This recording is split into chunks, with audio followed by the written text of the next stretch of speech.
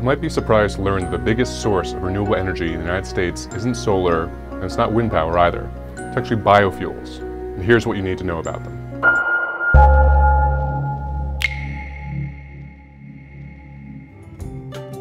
Last year, the United States produced 13 billion gallons of ethanol from corn. That's enough to take a major chunk out of U.S. oil consumption.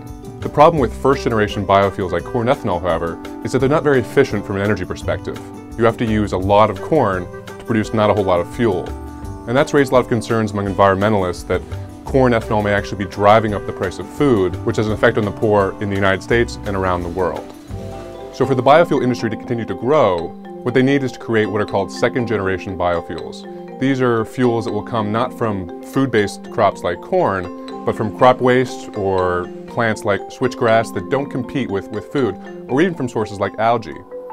Back in 2007, Congress passed comprehensive energy legislation that had plans for the U.S. biofuel industry to produce millions and millions of gallons of biofuels from these alternative sources. The problem is that it turned out to be a lot harder to do.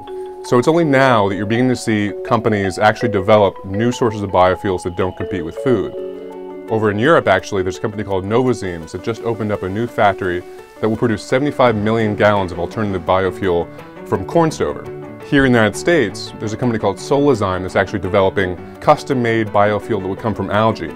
And they're developing a major new plant down in Brazil that will produce over 100 million gallons of that fuel. The problem here is that it's still very expensive to develop this kind of fuel, especially compared to first generation biofuels. But as the technology improves and as new plants are built, hopefully the price will come down and biofuels that don't compete with food will become a reality.